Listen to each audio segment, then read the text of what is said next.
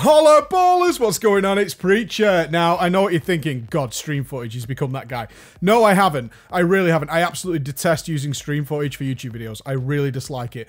But this run that we got was so perfect, it would be a crime not to use it, honestly. And I didn't fraps it, unfortunately. So, yeah, bear that in mind. It is stream footage. I'm really, really sorry, but this run is just ideal for what we're trying to achieve with this series. So, this is part three of a series of tanking videos from basically zero to hero that we're doing, where we are entering for the first time Mythics.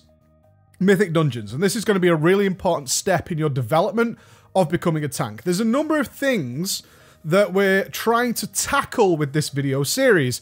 One of those is encouraging people who have never tried it and been a bit on the fence or wary of trying it or are afraid of it because of the responsibilities that it can hold to give it a go and give you the lessons and the knowledge you should need for all classes. Remember, this isn't about being a Blood DK or a Brewmaster and putting them into an attitude, a tanking attitude and this is going to help you even if you're not a main tank. If you are a main DPSer, it is vital that you understand what's going on on the other side of the coin. That will make you a better player. It really, really will. If you understand what the other roles are doing, what are the melee doing if you're ranged? What are the healers doing? What are they coping with? What are the tanks coping with?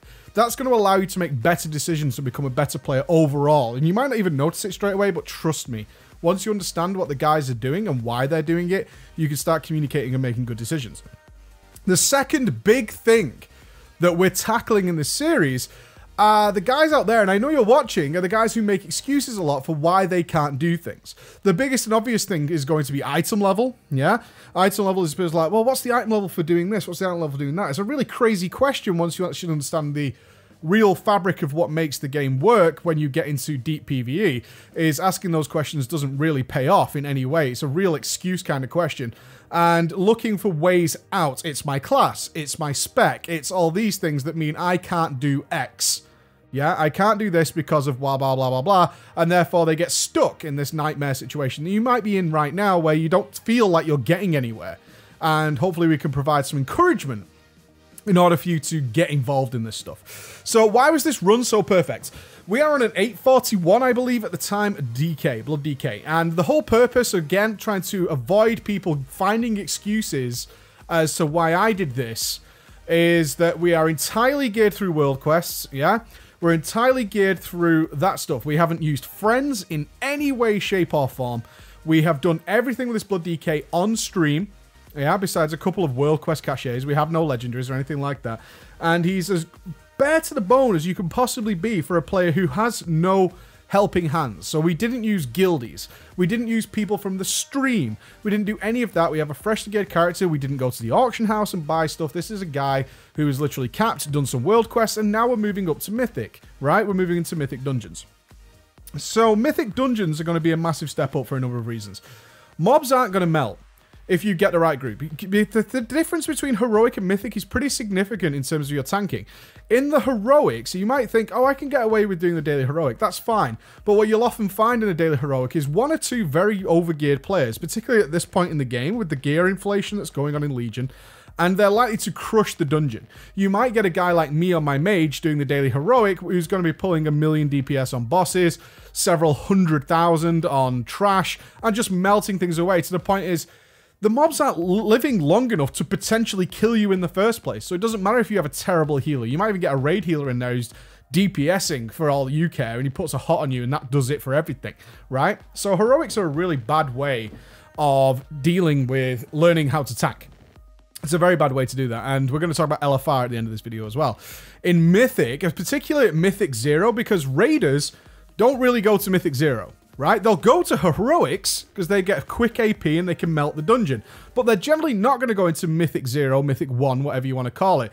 They're going to do daily heroic and then they're going to jump right up to like Mythic 7 plus, right? And usually at this point in the game, I, I mean, my mage doesn't do anything really below 11, and that's just the appropriate level for my mage. That's not egotistical or showing off or anything. That's just the appropriate level for where my mage needs to be to get his appropriate weekly cachet, is to be like my key resets. I do 11, I do 12, and then I kind of done for the week. So you have this gap in the middle where there's this group of players who are either raiders who are boosting, therefore you're not going to learn anything, they probably have their own tank, and the rest of the people are the guys who are supposed to be there And that's really important. They're supposed to be there. So what we did is we took our our, uh, our tank, our Blood DK, and we went to the pre-made group finder. and we looked for people who were doing Mythic Zero. And we just passed, we just said sign up. So I was declined from the first one, probably due to item level on, on nothing else. They wanted an overgeared tank. But what we found on the second one, which we tried to avoid because it was Halls of Valor, which nobody likes, was a group of guys who I'm going to put out some possible suggestions. I have no idea. No, no communication was needed in Mythic 1. Are a group of, I would say, casual players who had the raid quest that involves going to clear Mythic Halls of Valor. That's what I'm guessing they were doing based on the group setup because they invited me straight away and they summoned me. They'd been stood there, so it looks like they've been waiting for a tank for a while. They were all undergeared. And what we found out, which is why this was a perfect run, is they were all not great players for whatever reason. Either they are new players, they're alts, it doesn't matter. Eh, it's irrelevant why. We're not mocking them for that reason. What we're saying is this was perfect. So we had things like a Holy Paladin who didn't use Beacon of Light, which the Holy Paladin's listening would be like, what? Yeah, he didn't use Beacon of Light. He just didn't refresh it. I think he put it on at the beginning of the dungeon. There was three wipes total through this run, I believe, and never used it again. and healing in general was pretty weak. And the DPSs were all about 100k, if not less, DPSs. I was the top DPS for the majority of the dungeon. Ideal. Absolutely ideal for what we're trying to deal with here. This is a run, and we had a lot of viewers watching this happen on stream who were like, I would never ever do this dungeon. And if you're a raider, particularly if you're a raider and you've lived in that raid bubble for a long time, people were mind blown that like this is going on in game. And it's like yeah this is where people start out. This is the important thing. This is where people start out and where you as the tank can actually get success where others wouldn't even try. And that's going to make you the difference. That's going to make the difference between you and everybody else is you're going to be able to use the knowledge in order to do well. So what we do in mythic what we do with mythic and the main thing we're going to take away from this early section in the video is that this is where we're going to put everything we learned in video one and two into real practice, right? All the things we learned about positioning and looking for warning signs. You remember the second part of this video where I knew I was going to kill somebody by doing one action. The signs that we had in the first couple of packs led us to making huge decisions throughout the dungeon about how this dungeon is going to go. Not only that, Mythic and early Mythic, particularly in Pugs, I cannot stress this enough, some of the worst tanks I find who seemingly get into guilds and then fail are because they learned to tank with friends. They learned to tank with friends. If your friends are good, or if your friends are bad, you don't benefit a lot from playing with them when you're learning to do stuff. Now, let, let me expand on this. Friends are more willing to forgive your faults or not mention it at all. Pugs won't do that. Not only that, people you're not communicating with and you don't know very well, like you'll find in a pug, they will do the craziest shit ever. And in Mythic, even Mythic 1, that's going to be very noticeable from the very, very, very beginning. Very, very noticeable from the super get-go is they're going to do things that you have no idea people would do. And they're going to suggest crazy things, like you can skip a lot of the trash in the middle of Halls of Valor. I've never seen it done, and I've done Mythic a lot of times, but our Demon Hunter was convinced you could do that and blamed me for pulling the trash there. Um, they pulled the trash all the way back to the beginning of the dungeon, which I was so surprised by when we did have our first wipe in there. The next two wipes were on Odin. We didn't wipe after that because I learned a lesson there. It's like, okay, these guys can't really handle this stuff. I ended up running out of cooldowns. DPS wasn't high enough to deal with it and I adjusted my strategy appropriately. So when we had the first wipe, I'm going to move us up to this first wipe, what we had happen is it was too much trash at the top of the stairs. I ran out of cooldowns, the mobs were healing too much, and ultimately they I died. So as I released instantly, because we didn't have a combat res, and started making my way back, what do I see is the groups run all the way back to the beginning of the dungeon and brought all the mobs with them, and then proceed to go into like a five or six minute long fight of bringing them down. But we did. We did it. We brought them down. And that's the kind of thing you're probably not going to deal with with friends who say just wipe it and reset, right? Most most guys in of, of any raid strategy will know it's faster to just everybody die and just reset the fucking mobs and we'll do it again. Uh, but you're not going to find situations like that and you're going to have to deal with it. That's going to make you a better player because you're going to have to correct a situation that you don't ordinarily deal with. When you think about playing with friends, you don't generally have a really specific strategy of how you do near enough every trash pack. I know for a fact exactly what my tank is going to pull where and when to the point where I can freely cast while he's running into a certain area because I know what's about to happen. And you'll often find that with friends, that's not helpful because you're basically running a treadmill. You're basically doing Mario World 1 uh, 1 1 over and over and over and over again because you know exactly what's going to happen and you're just very, very good at that level. That doesn't make you particularly great at Mario, right? It doesn't make you particularly great at Mario. It makes you really good at 1 1, and that's about it. It really limits your play space. So all these signs led me to adjust the dungeon. So after that happened and we knew there's too much trash, you'll notice that when we got to the top of the stairs, I pulled stuff way, way back way, way back because there was ninja pulls from places I had no idea people could ninja from. Uh, I'm going to skip us again uh, forward here to the dog boss and the trash before it. So I know from experience that the dogs before the dog boss, Fenryr, uh, are particularly dangerous to tanks. I know that. And I know I'm not exactly over geared to just sort of face tank it and be like, la, it's going to die. So I did a pretty sensible pull. What then proceeded to happen is our hunter pulled stuff from I, miles away. Crazy miles away. This is good, right? And you can either be the guy who rages at this and start spamming in the chat, like, you know, how the fuck did you pull it, you fucking idiot? Or you can say, this is why the fuck I'm here. This is why I'm here. Because there is no way in hell I would expect this to happen. How am I going to deal with it? You might die. you might die. But you're going to be aware that, okay, I need to adjust because this guy doesn't know how to use barrage worse than I could have expected. You see a hunter who's maybe not doing particularly well, you go, okay, the barrages might be a bit wonky, right? Increasing your knowledge. I have to be aware of that. Oh shit, it's really wonky, right? Or, is, somebody else pulled. You're trying to pay attention to all these things at once. And these are all the things you now need to be ready for. This is going to make you a better player. Absolutely make you a better player. I encourage every single one of you who's tanking to get involved in this area of playing, and you'll become so much better, so much quicker than you can imagine. Overall, this dungeon took us an hour. That's not that bad for Halls of Valor. It's really not. If you're in the world where pugging is what you do, and you're learning, an hour ain't too bad to pick up the knowledge you'll probably pick up in a worst of the worst environment. The only way this dungeon could have been worse, realistically, is if we literally couldn't kill the first boss and people died and that etc etc etc what actually happened is we persevered a little bit and i adjusted the playstyle of the dungeon and the pace of the dungeon and made sure the pulls were safe and did all those kind of things which meant we didn't wipe again. We had safe pulls all the way through and eventually we one shot everything all the way up to odin where we had a couple of wipes because dps was really really low. Not much we could do about that at all. This is where you want to learn it really is where you want to learn. And I hope you understand why it's where you want to learn, because unpredictability is how you become a good tank.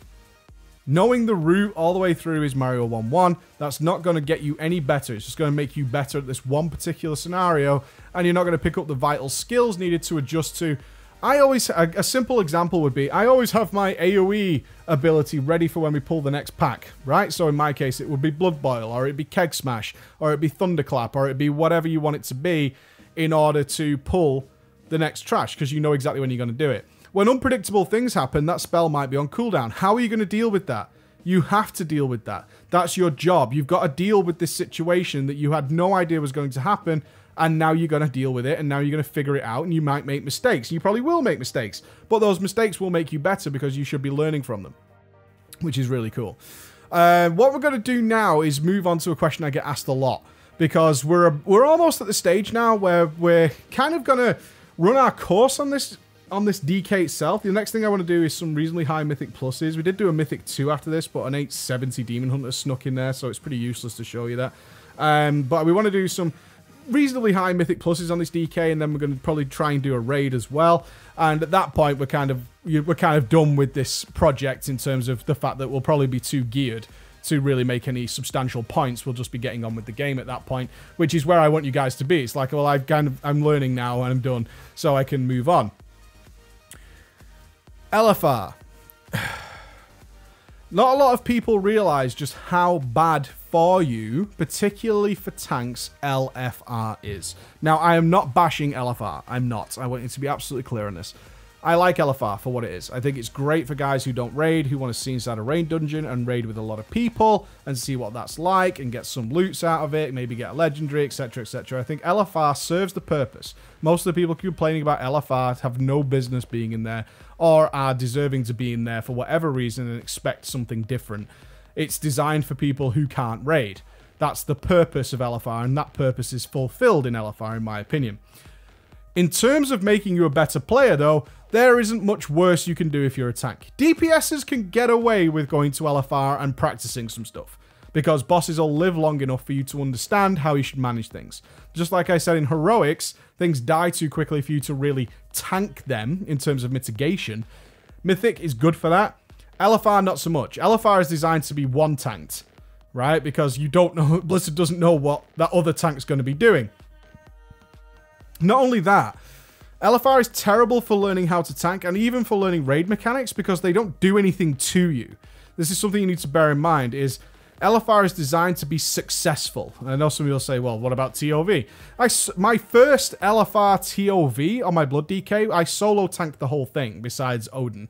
I solo tanked Guarm and I solo tanked Helya because I don't know what the other fucking tank was doing. The first one DC'd as soon as we pulled Guarm and the next tank we got at Helya just didn't know what was going on and just sort of DPS. He never taunted anything, he never did a damn thing, so I ended up soloing it. And that was on my uh, probably about 843 DK at the time. LFR has no mechanics that really worry you, and people do the craziest shit. So I jumped into LFR just before recording this video, just to get a little clip to go along with this commentary, and exactly what I wanted to happen happened. I've been really lucky with getting footage that I want to demonstrate my points recently. So what you'll see is I, I jumped into Xavius, the group was full, so I knew there was another tank in there, uh, proceeded to pull the trash.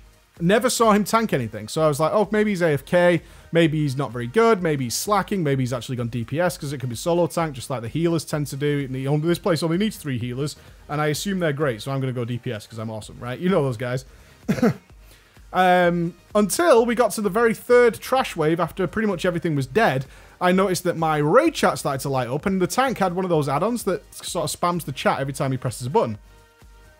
Now, I was then aware we have another tank. Okay, this is going to be interesting on Xavius. Xavius can be solo tanked very, very easily. Uh, let's see what happens here. Let's be interested. So I started the ready check so we could do a reasonably decent pull on Xavius. I think that's always polite uh, for anybody who's there as a good DPSer. We'll get a much better pull from that. It's going to have an overall smoother experience. It also introduces people to the idea of pull timers and trying to do things with that. And then I noticed the boss activated and the pull timer was Totally ignored by the guy running up and pulling the boss. Okay, no problem. Remember, the big part of learning to tank is not getting stressed out.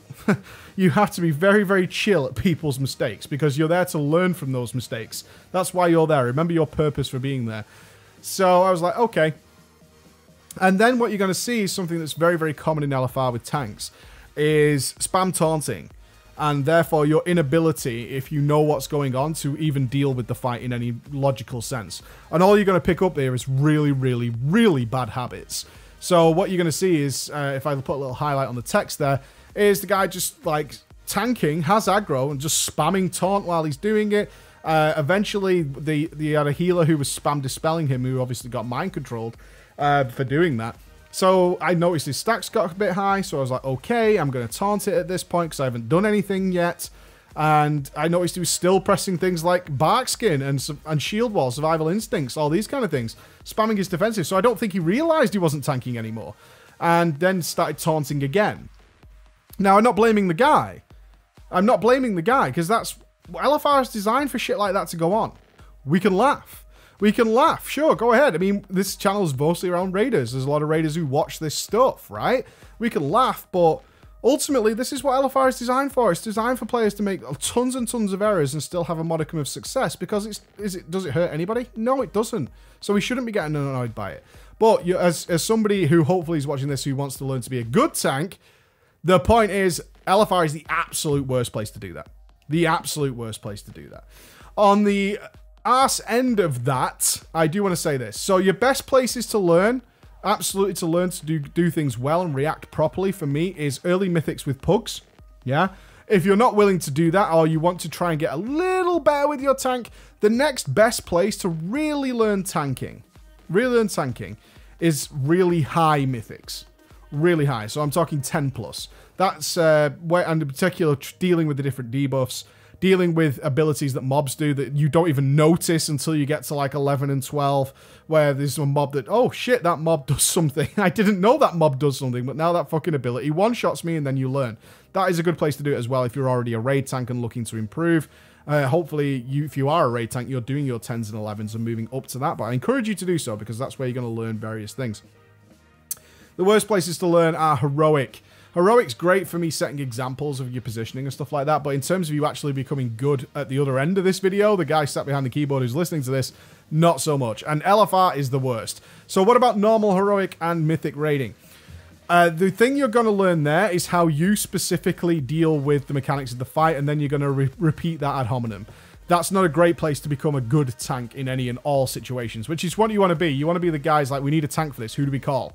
Because it doesn't matter what this boss does. It doesn't matter what this summonable mob, mob, mob does that we don't even know what it does because our guy's got a ton of experience in totally different scenarios and be able to pick it up quickly. Quick habits, learn to do it. He's not a guy who can just tank raid bosses and knows how to deal with those specific mechanics over and over and over and over again. So I would really like to leave a message to guys who maybe rolled a tank, played with their friends, and is now doing some raid tanking maybe you want to check out doing some Pug World. Encourage you to do it. Report back to me on that one because I think you might find you'll pick up some good hints and tips when you're not just playing with your friends and for you guys as well who are just getting into this. And I know there's many of you because you've been getting in contact with me. Is get in there. Don't be afraid. Don't be afraid. Jump in. Have some fun with it. Of course we had a giggle at these guys. Of course we had a giggle, but it's all in good faith. There's like no hard feelings here whatsoever. All right, guys. So if you want to see the full VOD of the Halls of Valor run, then uh, you can, I'll link it down below. All right, guys, thank you so much for listening. I'll see you again. Bye-bye.